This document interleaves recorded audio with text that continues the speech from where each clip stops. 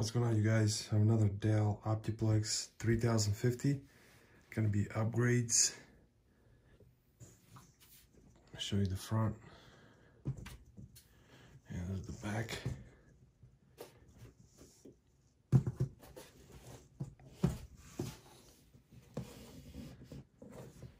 So what I'll do is,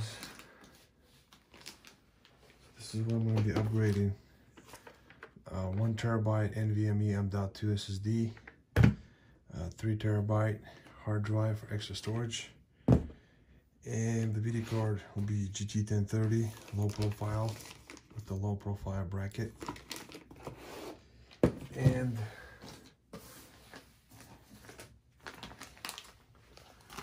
RAM. This is uh, DDR4, 8 gig per each each stick, so 16 gigs total.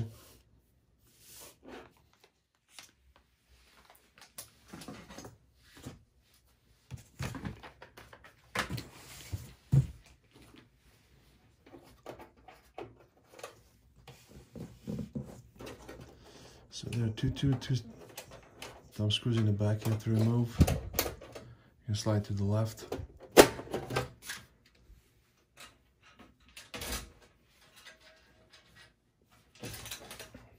So first all we'll do is I'm gonna remove the front cover, plastic.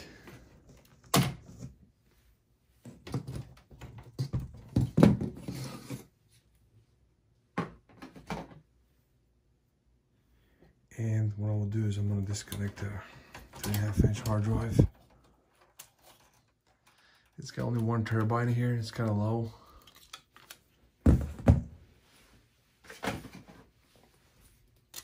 And if you guys want to upgrade to, you can go four terabytes or you can go eight terabytes or you can go 10 terabytes they have. So do that just like that.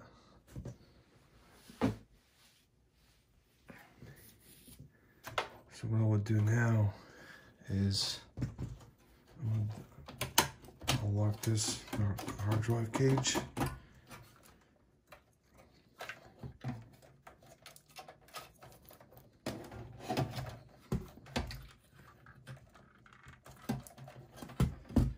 Now, so it's got a 500 gig SSD in here, NVMe M.2. And it's also Samsung so what I'm gonna do is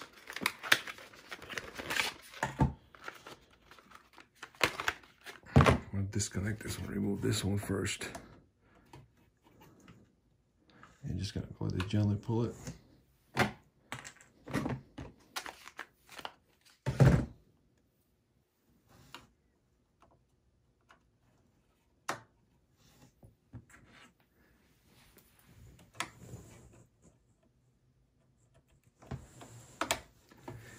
Yeah if you can remove this little plastic piece right here it's holding then you'll have to use the pliers gently like this and pull it. You have to be really careful. Now what I will do is upgrade the RAM. It's only got 8 gigs of RAM. That's 4 gig per each slot. Yeah each stick is only 4 gigs. It's kind of low and if you guys want to upgrade, you can go maximum 32 gigs. That's 16 gig per each slot you can do.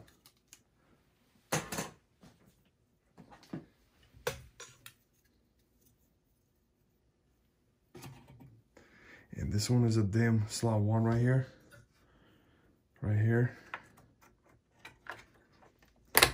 And this is the DIMM slot two right here, the second one.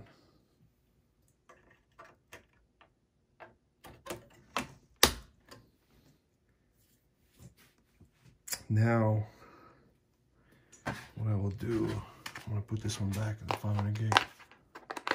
Back to plastic.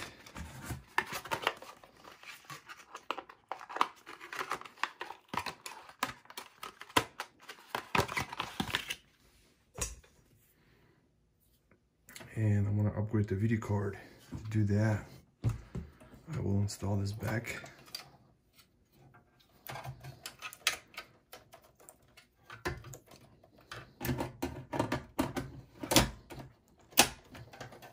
connect this back to the optical the wire, SATAM power.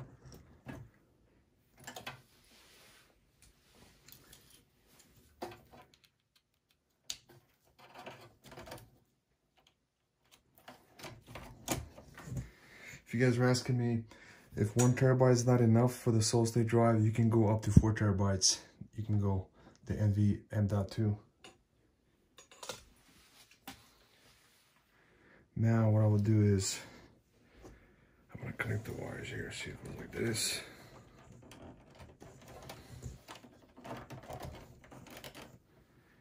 And will be the last part is the video card.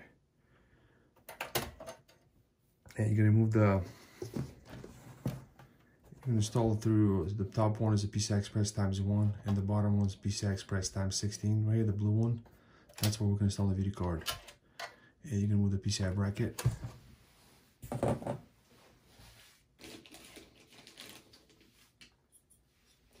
It's got a 180 watt power supply in here. It worked perfectly fine. If you guys are asking me if you have, uh, you're gonna be running four monitors, then you can go the NVIDIA Quadro K1200. You can install low profile. Also, they have, I'll put a link in the description. You guys can buy it through Amazon. So I'm gonna show you guys like this. And the video card.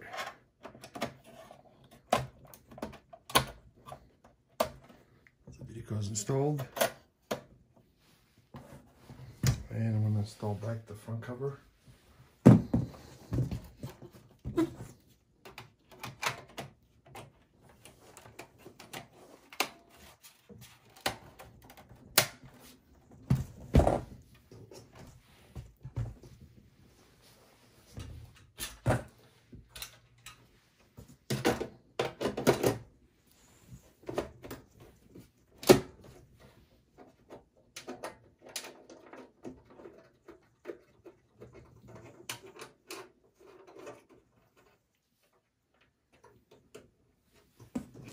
I'll show you guys the back. So it's got an HDMI port and DVI port. And this is the front.